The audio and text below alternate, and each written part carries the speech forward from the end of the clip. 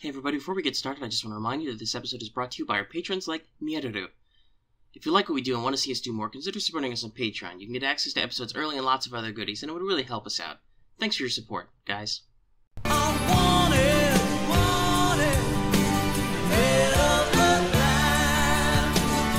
Hey everybody, welcome back to Let's Talk FGO Wanted, where we talk about new and upcoming 5 stars, usually of the limited variety, but sometimes story locks, sometimes even just permanent unlocks, because who cares? Hey, you love 5 stars, everybody loves 5 stars, 5 stars for everybody. No, they're not doing that, they probably will never do that, but hey, here we are.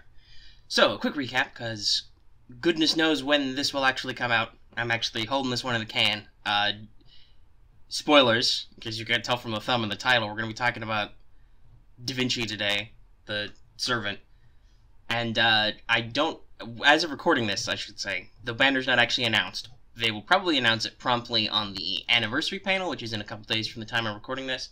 But, eh, don't know.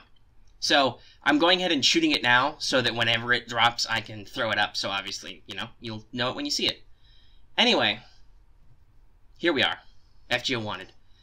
We're gonna talk about our normal format. We're gonna talk about the actual real life history or mythology of the character. We're going to talk about any lore that's specific to them and Fate. Then we're going to talk about mechanics, what they're actually good for, and then we're going to talk about how rare they are, not the arbitrary assigning of stars and uh, metallic rankings, but the actual how often are they on rate up. Spoilers for Da Vinci, it's not a lot, which hurts me. But anyway, we'll cover all that, and we'll see if you want to roll this servant. Simple, right? I don't think there's any business to get out of the way. This is a classic example of one. If there's a limited servant who's coming out, we're going to talk about all the stuff that they do. So let's jump into the history. Leonardo da Vinci, renowned polymath. That means they know a lot of stuff. From uh, born in the 1400s, during the Renaissance, Italian, wildly famous. Famous as an artist for works such as the Mona Lisa, The Last Supper, Virgin on the Rocks, many, many portraits. Also famous as a technical designer. Da Vinci's notebooks were scattered with lots of technical drawings for concepts like armored vehicles, ornithopters, solar power, double hulls and ships, lots and lots of other designs. So, very well rounded. A perfect example of what was called the Renaissance man, the person who, you know, is involved in all of the pursuits of humanity, from artistic to technical. A real famous genius. We're not going to break down Leonardo's life from start to finish, just, you know, hey, have you ever read a book about art or taken a class on art or the humanities? You probably heard of Leo. Probably heard of Da Vinci. Eminently famous for lots of stuff. Alright. I usually like to go in a little more detail, but with ultra famous characters like Leonardo da Vinci, it's hard to do that, because we'd be here all day. Uh, personally, great fan of their works. Though I would say I, uh, as a painter, I prefer Raphael. But hey, that's just anyway. We're not going to linger too long on any of the other history. Just know that basically, Da Vinci was interested in just about everything and was good at a lot of them. Credited as inventing the tank, the helicopter, the parachute. Interested in all kinds of fields. Sometimes called the, the father of paleontology and architecture uh, and iconology or ich- ichnology. It's got an ICH. It's the study of like trails and footprints and stuff. So yeah, no, super famous. Let's move on from that. Let's move into Leonardo da Vinci in FGO because Leonardo da Vinci is an FGO original. So obviously we got to get the first thing out of the way. Da Vinci is a lady character, kind of. So this is different from the normal way Fate does this by just, oh, history recorded them as a man, but they were actually a lady. No, so historically, Leonardo da Vinci was male, but when summoned as a servant because of da Vinci's own aesthetics and the incredible fame and mystery of the Mona Lisa, the summoned form Da Vinci takes is that of a lady who resembles the Mona Lisa. Da Vinci Chan for short. Actually, it's not really that short, but you know, that's how you can differentiate. So yeah, there's that. That's a thing kind of an interesting take that obviously, you know, Leonardo, despite being kind of a dirty old man personality wise, you can tell this from some of the events, also super striving for that ideal of beauty, which forms the physical body. Also, Da Vinci is super important to the plot, as evidenced by the fact that we known she exists for a long time, way before she was playable, let alone summonable, because she was actually playable before she was summonable. And that is because Da Vinci is credited as the third servant, third servant summoned by Chaldea. And Da Vinci fills an important technical role with a major workshop. They manage the in-game shop with lots of lovely lines that you hear all the time. Many other features. They are responsible for lots of uh, magical and technical construction and advice, and generally knowing lots of stuff that Da Vinci can exposit to you. Also, important to note that Da Vinci's class is a caster not just because of their knowledge of just about fucking everything, but also because it states in the profile yes, actually, we're extending that this mastery of many crafts extends to magecraft. So, in Fate, Da Vinci was also a magus, which that's that's not really that out there. Sure, makes sense with that knowledge of everything and trying to understand the universe and stuff. Sounds right. So that's pretty important.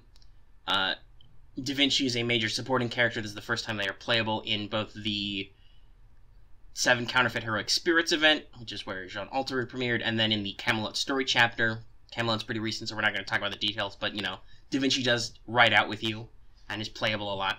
Also, just in general, like I said, important to the plot because they're there.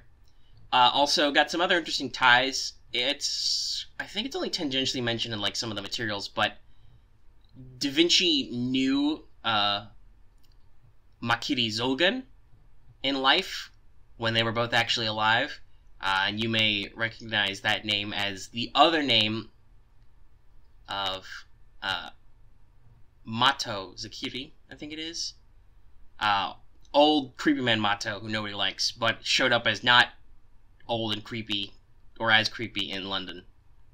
So that was a thing. Didn't even realize that was a thing, did you? Well, it is.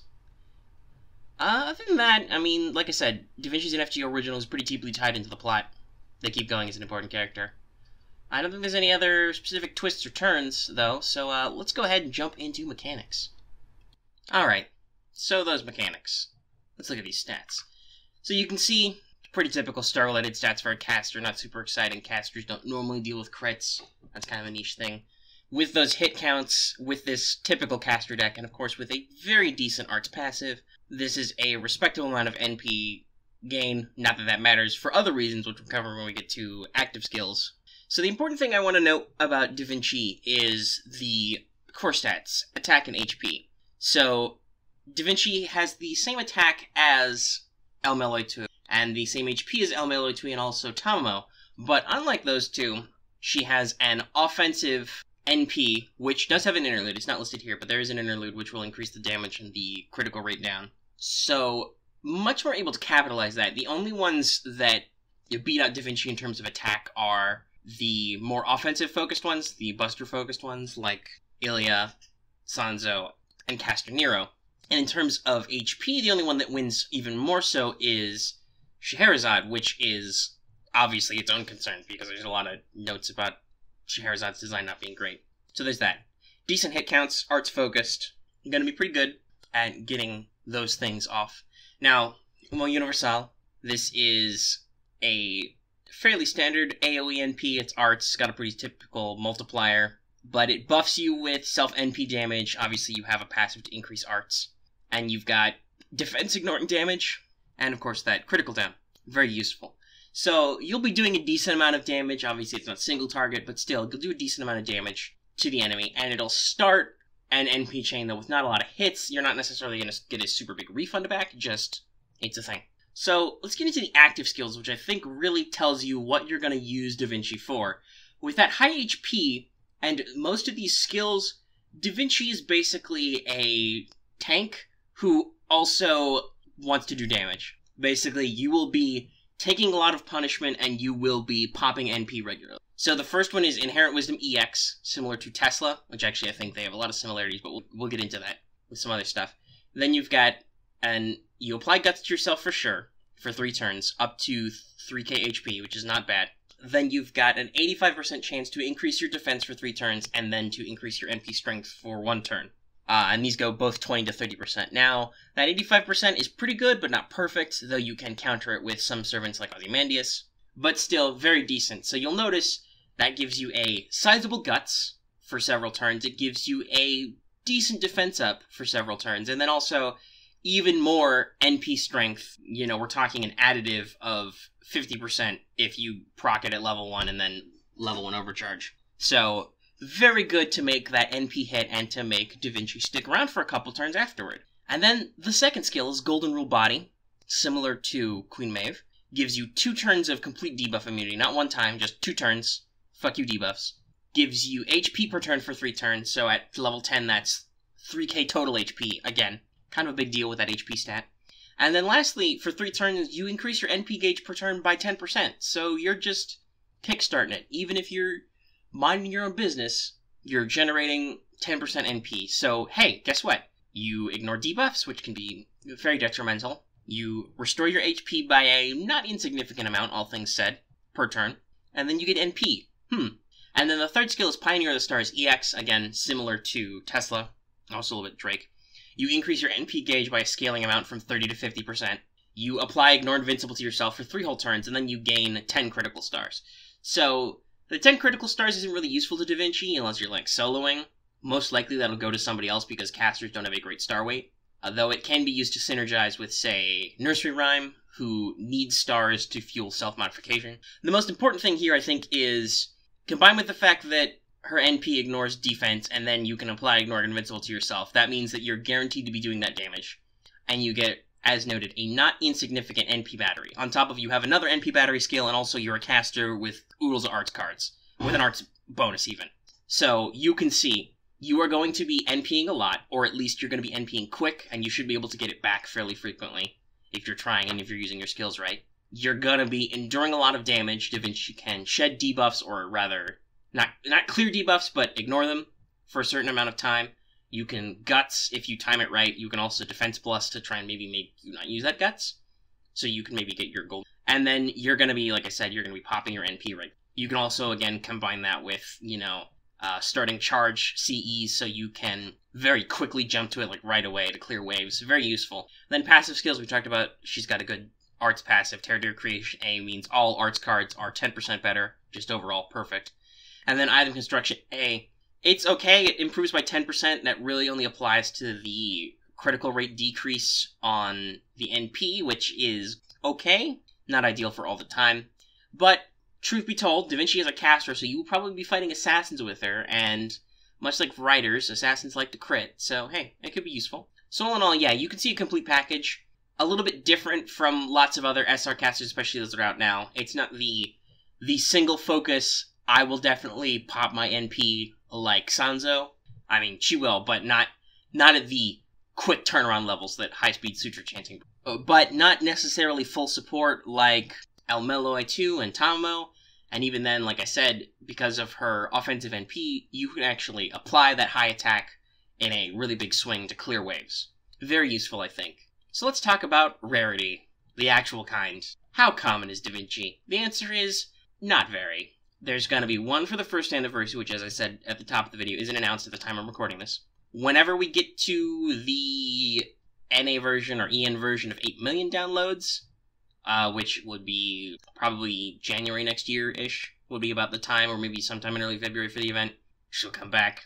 Uh, supposedly she's in an FGO the stage a commemoration of Banner, which will be next year. Well, would be next year in our time slot, but obviously we don't have FGO the stage, so eh. They'll probably do something with it, but I don't know specifically what. And then probably the best is in a couple of years, or a year and a half, I guess, at this point. There will be a rerun of Da Vinci and the Heroic Spirits event, which will actually include Da Vinci and the Banner, along with Jeanne Alter. So that'll be a popular one you'll probably want to. Sounds good? Alright. So let us go ahead uh, wrap up from there. Alright, so that's the video. I hope you uh, have decided whether or not you want this character now and we'll uh, just, you know, go on from there. I'm going to see you guys in the next episode. Don't forget to like, comment, and if you're new, subscribe. Also, don't forget to hit the bell for notifications so you always know when we post one of these. You never know, it could be a matter of life and death. Quartz is burning all in your pocket, and you just wonder, Studio Omega, do I need to roll? Answer for yourself. Watch a video. It's only like 15 minutes. And uh, don't forget to tune into our regular show, Let's Talk FGO, where we talk about topics like this in big, broad categories and stuff. And like I said before, I will see you whenever the next one comes out.